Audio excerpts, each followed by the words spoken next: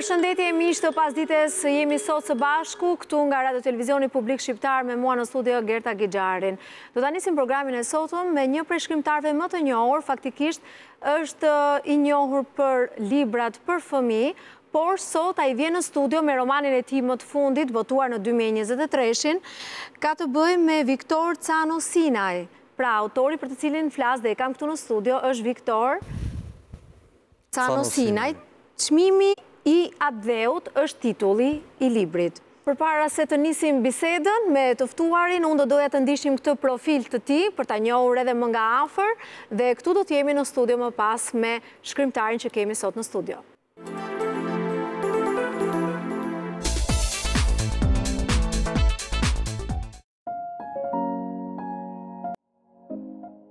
Autori Viktor Canosinaj është pa dyshim një ndër emrat më të njohur të letërsisë shqipe dhe një ndër të paktët shkrimtarë që krijuan një traditë të librave për fëmijë në Shqipëri. Në më shumë se 40 vite krijimtari, ai e nisi udhëtimin e tij letrar që në moshë të re duke marrë pjesë në një konkurs letrar në Radio Tirana, ku edhe u shpall fitues, për të vijuar më pas me vjersha dhe tregime deri në lëvrimin e prozës. Njihet si autori i të gjitha moshave, pasi ka prekur suksesin dhe është vlerësuar jo vetëm për romanin e tij për fëmijë, Meriyll, por edhe për guximin dhe ndjeshmërinë e tij letrare në botime me tematika mjaft të prekshme për shoqërinë shqiptare dhe ndërkombëtare, siç janë librat Lule Pashka e Artikut apo libri Hija e mbretit, autori, shkrimtari dhe poeti Viktor Canosinaj, djali i rritur buzë detit, me sa duket ka ende një det me ndjenja brenda tij për t'ia dhuruar të gjithë atyre që dashurojnë librin.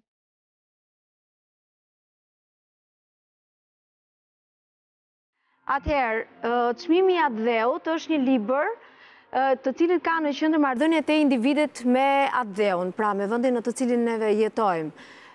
Pse ka ardhur ky roman dhe je shkëputur, si të thuash, nga librat për fëmijë dhe vjen një roman për të rritur? Shkëputja është e vjetër.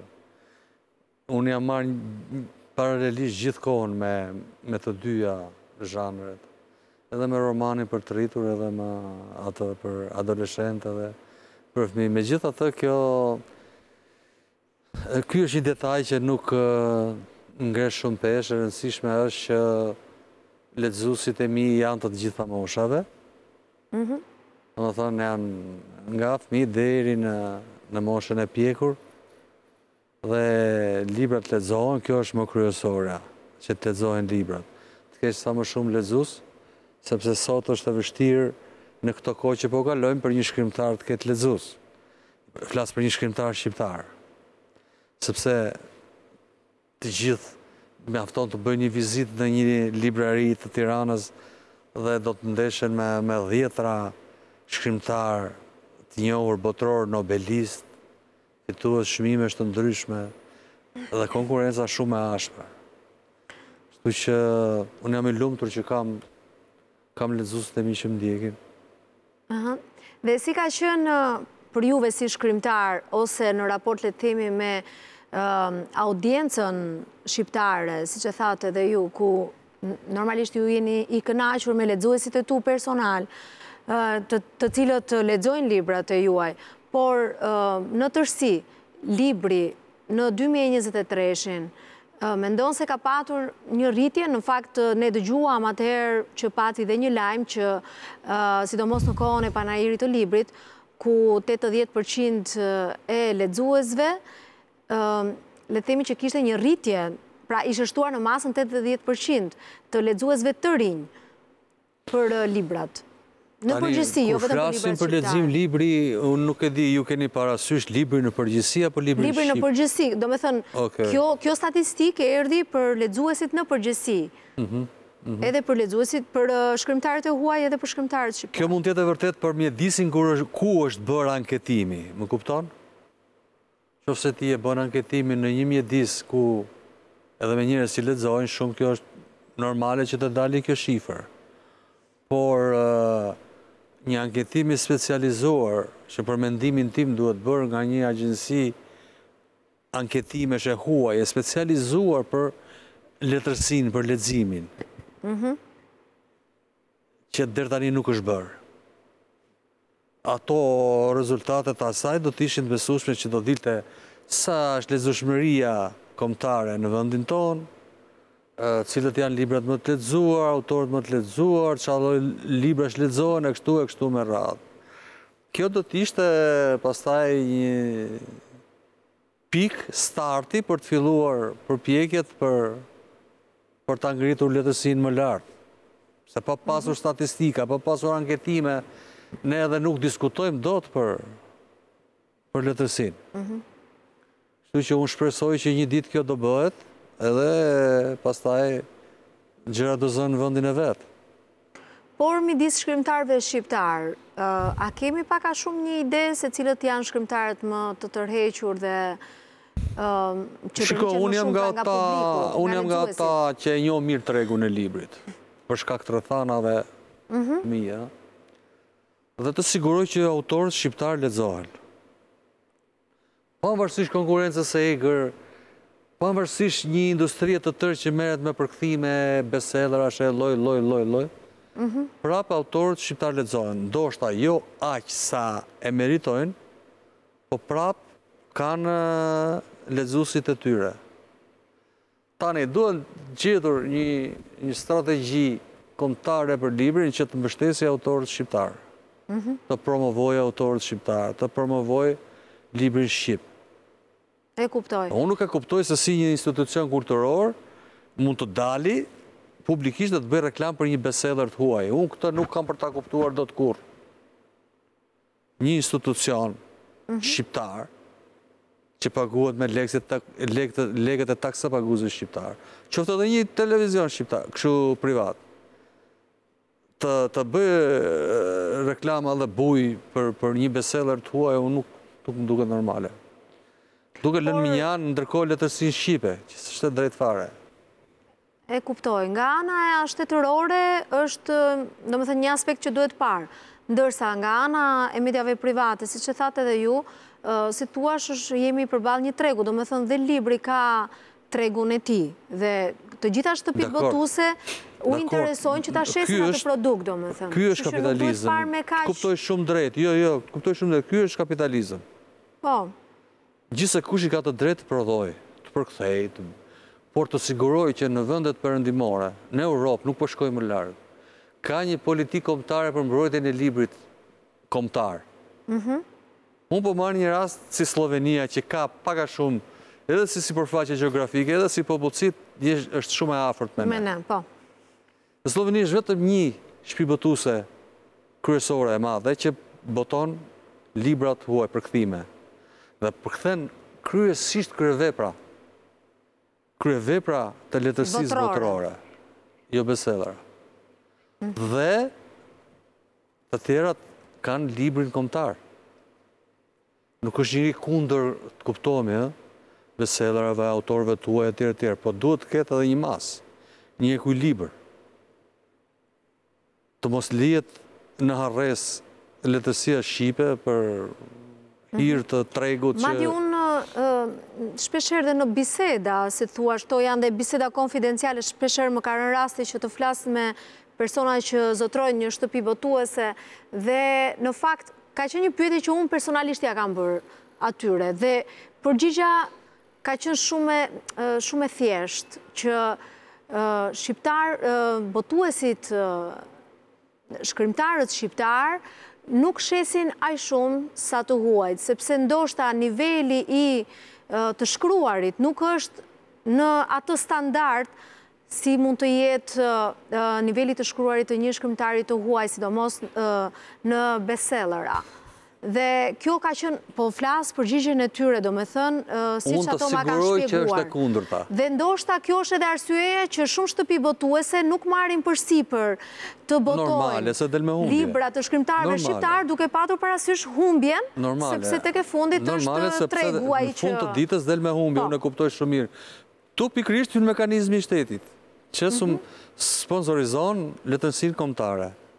Por unë të siguroj, nuk e di nga këtë bisedë konfidenciale, nuk është se në aspektin e letraritetit, pra mhm. atij që mat nivelin e letërsisë. Letrariteti i veprave shqiptare është më i dobët se i i dhjetëra librave tjerë që botohen. Kjo s'është e vërtetë. Nganjëherë është më i lartë letrariteti në veprat shqipe. A, qoftë se ti merr një nobelist, apo merr autor të kalibrit Markez e tjerë e tjerë e tjerë, E kuptohet kjo, nuk ka nevojë për koment. Jo, duke përjashtuar këto, le të themi, nobelistët dhe kokat e mëdha të letërsisë, duke i po. përjashtuar, pra duke kaluar në një nivel tjetër. Unë me njohjen që kam me leximet që i kam bërë përkthimeve të huaja. Për shembull, ka një shkrimtar shqiptar që mund ta kalojë, si të thuash, mënyrën e letërsisë që shkruan Jeffrey Archer. Këtu nuk mund ta mbështesim tani këtë me krahasime me individë, me, me shkrimtarë të veçantë, më kupton? Problemi është që unë jam i bindur që shkrimtarët shqiptarë nuk kanë asgjë më mangut nga autorët e tjerë. Po marr Ballkanin, mhm. që e kemi rreth e rrotull, pastaj edhe vendet e tjera. Nuk, ndoshta, ndoshta ndikon tematika, sepse e kuptohet ne si shoqëri jemi jemi dy tre dekada prapa zhvillimit të tyre.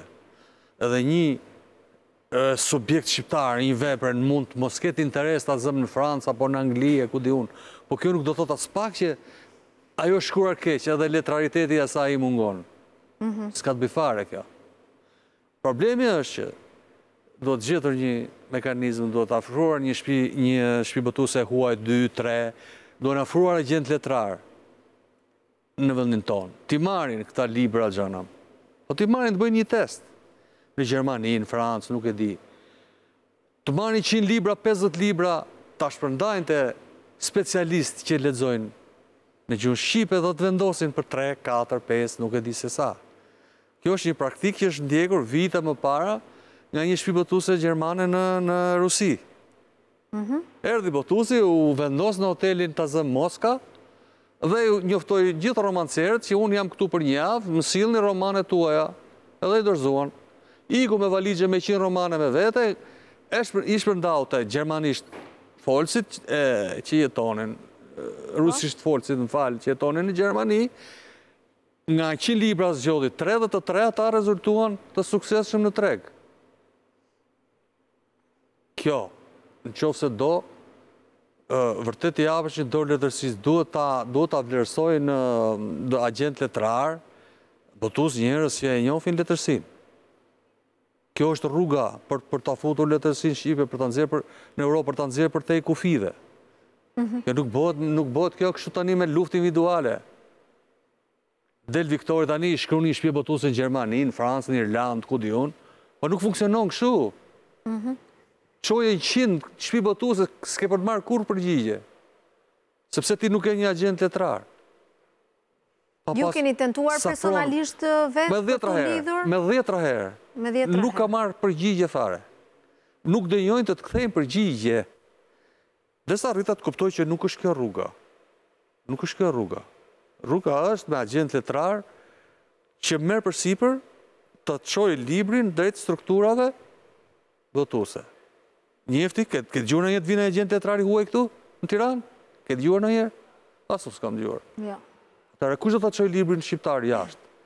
Do ta çojnë shkrimtarët vetë. Është gjëja më e gabuar për mua. Ismail Kadare përkthehet jashtë. Ai është rast tjetër i përket një epoke tjetër kur kishte struktura të tjera që kujdeseshin për letërsinë, ishte shteti, ishte tjetra, tjetra, tjetra. Domethënë edhe ai po thoni e ka bërë në mënyrë individuale.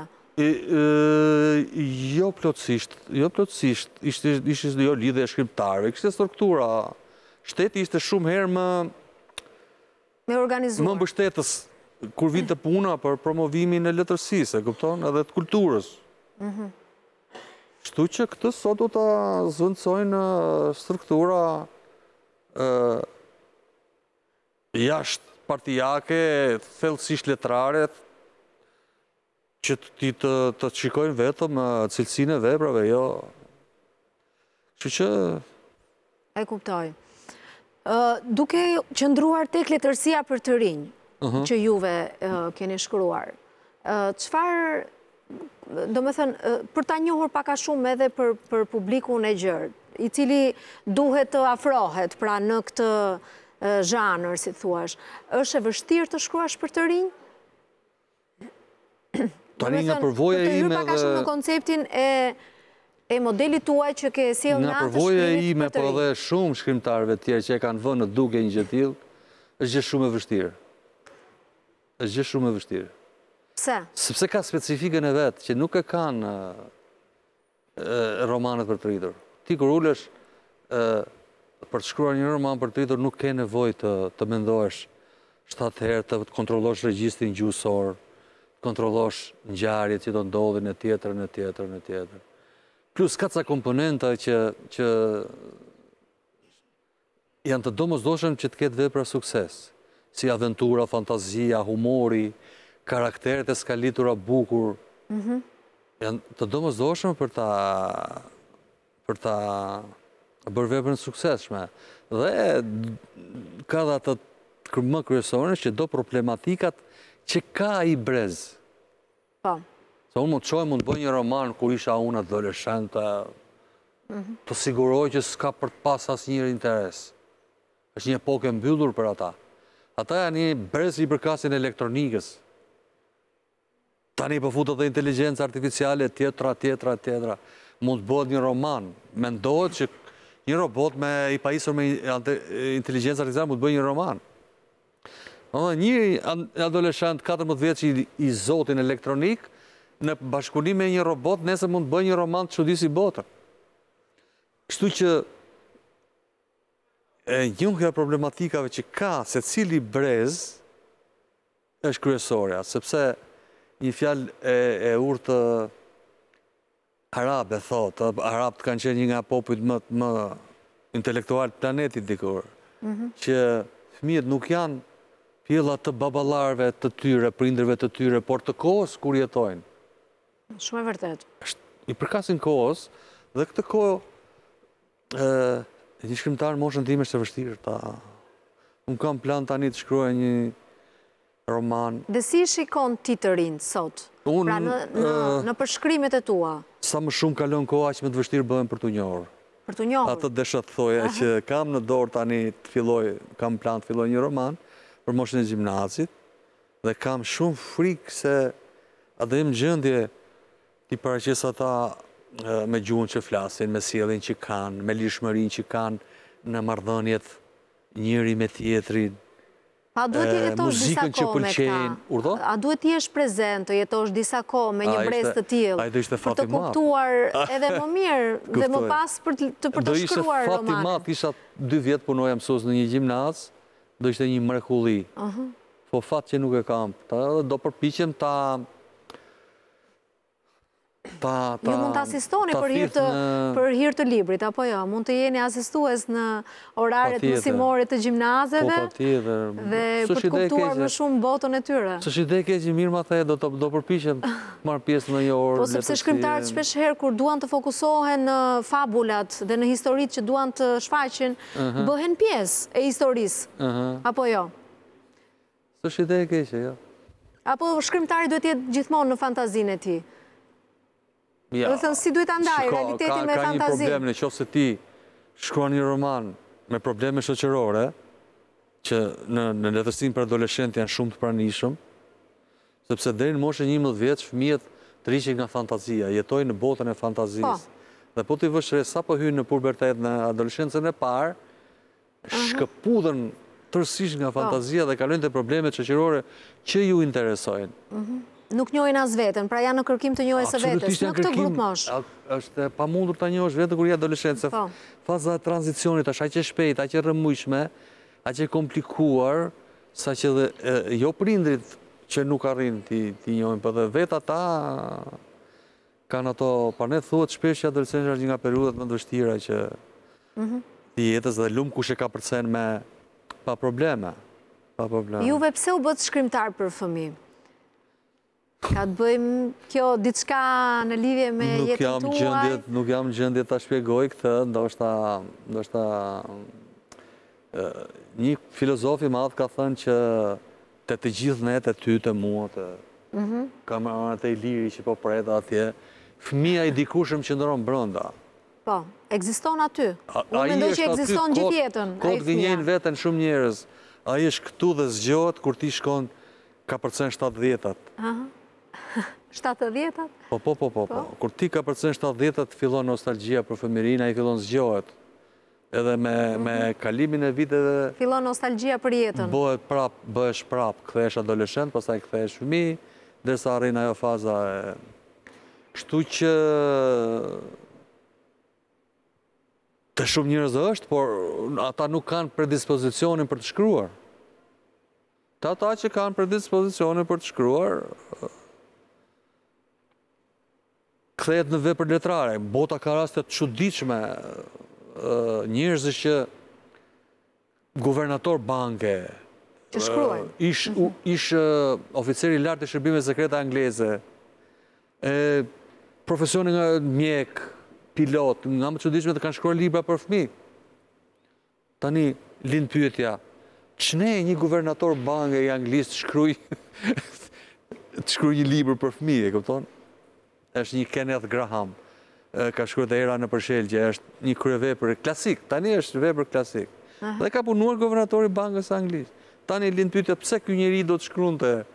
Është pak e vështirë për ta shpjeguar, pse pikërisht Tani unë e kam pëlqyer që që kur kam qenë vetë adoleshent edhe po tani këto vitet e fundit sikur jam tërhequr. Jam tërhequr, më shumë po merrem me romanin për të rritur. Kam mhm. nëpër duar dhe nja 2-3 libra të fundit edhe mendoj që që do mbyllet vetë. Natyrshëm, do mbyllet natyrshëm. Cilin libër do veçonit nga të gjitha botimet tuaja? Që vërtet ta mbanit, ose sa herë i rikthehesh? Tani, nuk jam unë njeriu që do të veçoj vepra, ta e kuptoni, janë lexuesit, dhe lexuesit e kanë bërë këtë gjë, duke, kuptohet, duke ndarë ato vepra që janë më... Më të shitura. Më të pëlqyera, jo, nuk hyn shumë ajo... komponenti i shitjes, po pëlqimit artistik që i bëhet veprës. Dhe këtu do të rendisja romanet Biri i Erës, Lamtumirë Guaska ime, Meri Yll, Mostrat e rrugës së Mimozave, edhe ndonjë libër tjetër që vazhdojnë lexohen edhe sot e kësaj dite, edhe mua më pëlqen shumë fakti që vijnë tani në panair ish lexues të mi që janë bërë prindër, Edhe marrin për fëmijët e tyre. Aha, dhe kërkojnë që t'ia transmetojnë edhe fëmijëve. Po, po ata libra dhe kjo është vërtet emocionuese kur e kur e përjeton. Është një luftë e madhe në fakt të imponosh leximin fëmijëve sot. Duke nisur pa diskutim duke nisur nga Po, qenke njohëse e mirë e problemeve letrare ti. Merresh me letërsi vetë? Po, më pëlqen dhe unë dhe mua letërsia, nuk është jo, se... Jo, kap ca gjëra vërtet shumë pikante që... Shiko, unë kam një bibliotekë në shtëpi... Lexuesit s'e mendoshim. Kështu që... S'e mendoshim. Jo, pyetjet janë shumë profesionale, prandaj më bën përshtypje. Faleminderit. Ka një problem. Lexuesi i vogël nuk është si ai i rrituri që duron. Po, pikërisht. Duron 50 faqe, duron 100 faqe. E rimerr prapë librin. Lexuesit e vegjël janë spontanë, janë të sinqertë. E marrin librin, nuk i pëlqeu deri në njëzet faqe e lënë. Nuk jep shpjegim pse e lashë, thotë nuk më pëlqeu dhe kaq. Por, ndodh që kur i pëlqen, pastaj s'e lëshojnë nga dora. dhe kërkojnë libër tjetër, libër tjetër dhe kështu me radhë. Kështu që miti që ngrihet që këto brezat që vijnë s'po lexojnë, e ka fajin elektronika, ka fajin celulari, e kanë fajin jo, indiferenca, këto janë mite për mu, janë mite false. Duhet të zhvillohen disa metoda që nga prindërit që në vegjëli të fëmijës, Për mua janë mite false. Që më pas fëmija të mësohet pak a shumë me të lexuarin. Kryesorja jo, jo, ajo po, është një komponent. Për mua kryesorja është cilësia e veprës letrare. Në qoftë se ti i jep një brezi fëmijësh një libër me vlera letrare të mirëfillta është e pamundur të mos e lexojnë.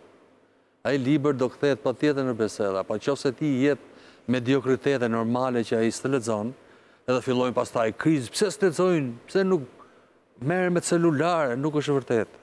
Është e vërtetë. Kjo kri, kjo alarm, ky alarm, më fal, është hedhur që në fund të viteve 90, nuk ka filluar sot. Po, patjetër. Brezat e rinj s'po lexojnë, libri është në krizë, t'i kthehemi mhm. klasikëve etj etj etj. Por ça ndodhi?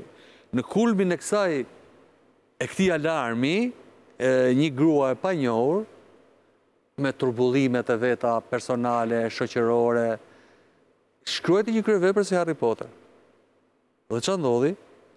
Fëmijët të shoqëruar me prindër që në pesë të mëngjesit mbanin radhë nëpër libraritë e Tokios, e Nju Jorkut, e Londrës, për të marrë librin e dytë. Po se erdhi si diçka e pazakontë, pra ajo histori është e pazakontë. Tani vjen pyetja pse ndodhi? Është edhe e bazuar në disa fantazi, në përralla, le të themi në ëndrrat e shkrimtares, sepse ne e dimë që historia ka ardhur në ëndrrat e saj. Të kuptoj. Ajo goditi në shenjë, ajo goditi në shenjë, Madje ka përjetuar makthe, ë? Autorja e Harry Potter ka përjetuar makthe vetëm për të shkruar librin. Ajo goditi në shenjë, ajo gjeti çfarë donin lexuesit e asaj epoke. Mua më duket sikur Por cilësia e librit bëri që ajo që vepra të lexohej. Të lexohej, patjetër, pa diskutim. Mbaroi pikë. Pra, lexuesi kur ti shkruan bukur dhe jep libër të mirë të lexon. Përndryshe, Edhe kjo vlen dhe për romanet për të rritur. Po. Kur shkruan thjesht më mirë, që ta kuptojnë. Ato janë probleme, pastaj janë shumë... Që ta kuptojnë gjithsecili, gjuhën e të shkruarit. Thjeshtësinë, thjeshtësia vlen edhe për romanet për të rritur, e ka thënë Leonardo da Vinci. Thjeshtësia madhështia. Po, e po të shkrush thjesht, do t'jesh gjigant, do t'jesh gjenial. Thjeshtësia, patjetër. Nuk është thjesht, nuk është e lehtë. Nuk është e lehtë. Por, gjithsesi, duke u rikthyer tek ju si shkrimtar, dhe meqenëse ju do të jeni në procesin e shkrimit të librit për të rinjë, mendon se kjo, ky profil është në mungesë, tani në treg dhe kërkon që të gjesh një rrugë tjetër për të tërhequr vëmendjen? Jo, në treg ka plot përkthimet për këtë moshë. Jo, flas për shkrimtarët shqiptarë, sepse tregu është i mbushur me gjithçka, domethënë, ne kemi shumë. Të jemi të sinqertë. Por duket si një gjetje, domethënë, po patjetër. Një kleçkë. Po patjetër. Po patjetër. Që e kërkon edhe fusha juaj e të shkruarit, domethënë. Duhet një ngjarje e veçantë. Duhet. Që të Sepse sot botohet e shkruhet aq shumë. Pikërisht. Saqë tmerri i të gjithë shkrimtarëve sot është. Të gjesh çelësin që të hapë. Po, po tmerri është mos bien, mos bien në përsëritjen e dikujt tjetër. Sidomos ky tmerr është shumë i madh te shqiptarët. Pse? Sepse ne nuk e dimë se çfarë është botuar në Angli, në Amerikë, në Francë, Gjermani dy dekadat e fundit. Dhe, dashur pa dashur, ti mund të biesh në përsëritjen e një teme që e ka shkruar dikush tjetër. Ka ndodhur kjo. Ka ndodhur me dhjetra qindra herë. Mhm. Kështu që kjo Përgjithsisht librat aksion kanë, dalin në shumë raste në përsëritje, po, librat me profilin aksion. Ti ose thriller. Ti je i bindur që po bën një vepër origjinale, të rrallë. Edhe vetëm kur ke rënë në skemën e dikuj tjetër. Po, po. Që del më vonë që sepse të jemi të sinqertë, tani, që nga koha e Shakespeare, Romeo dhe Julieta, tema e dashurisë po ajo është. Po ajo është, po. Ajo ka një dashuri të zjarrtë dhe pastaj në fund po, kemi një trishtim, një mbyllje dramatike. Antagonist ka një mbështetës. Po. Mhm. Në fund dashuria mund të përfundojë me helm, mund të fitojë. Po. Tani kanë kaluar 5 shekuj, po Po të lexosh libra që trajtojnë këtë temë, po ajo është, në thelb. Dhe cila do të jetë veçantia që do të sjellësh për këtë libër? Tani, e rëndësishme është për çdo shkrimtar, jo vetëm për mua edhe më më e lodhshme, më e tmerrshme është të gjesh formën artistike, një formë të re artistike që të mos biesh në përsëritje. Sepse forma është kryesore që e bën librin tërheqës. Ti mund të bësh për dashurinë prapë mas pesëqind vjetësh një një roman, po qoftë se ti i jep një formë artistike të re të rrallë, të pashfrytëzuar më parë, detyrimisht ti do tërheqësh vëmendjen. Kështu që Pra do sjellësh një formë tjetër të përshkrimit të ngjarjeve. Do përpiqem, do përpiqem, se sa do t'ia dal. Ta uroj, ta uroj shumë. Faleminderit, faleminderit. Shumë faleminderit që ishe në studio me mua. dhe që solle pa diskutim këtë libër, që ia propozojmë të gjithë publikut, që është çmimi i atdheut, por... Është një nga romanët e mi më të bukur, e kam shkruar me shumë... Do ta klasifikosh si më të bukurit e tu? Me shumë mall, me shumë... Me shumë frymëzim. E kuptoj. Falemderit shumë që ishe në studio me mua. Tani unë do të doja, se nuk të njihja, të jemi të sinqertë, do të doja që po bëre prapë në emision Për letërsinë të më ftoje. Patjetër, ishte një bisedë shumë e këndshme dhe unë e shijova shumë. Jam i befasuar nga niveli, sikur të kishim të gjithë gazetarët me këtë nivel do ishte një gjë e mirë shumë. Faleminderit, ishte një kompliment që vërtet e vlerësoj shumë. Tani Kritika letrare ka ka pësuar një transformim, ë, funksionon nëpërmjet blogjeve, nëpërmjet komenteve të të bashkëpunëtorëve të shpive botuese. Jemi më sipërfaqësorë sot, kjo është. Domethënë nuk thellohemi shumë dhe thjesht Nëse dhe jemi pak të paragjykuar, edhe lexuesi i përgjithshëm, domethënë ka shumë elementë. Edhe lexuesi i përgjithshëm këtë lloj paraqitje do. Po. Pastaj, për të hyrë në thellësira janë studiuesit, janë profesionistët e kështu me radhë. Patjetër, patjetër. Jo e gjithë shoqëria kjo është, domethënë ka nivelet e saj. Faleminderit shumë që ishe në studio. Studiuesit e letërsisë janë ata që i vënë vulën pastaj. Patjetër. Pa diskutim që do të jesh sërish pjesë e programit tonë, ne sapo kemi filluar dy mijë e njëzet e katër-ën, do të kemi Shumë gjatë, deri në fund të sezonit. Faleminderit. Faleminderit. Miq të dashur, do të shkëputemi për publicitetin e radhës dhe këtu do të jemi me të ftuar të tjerë.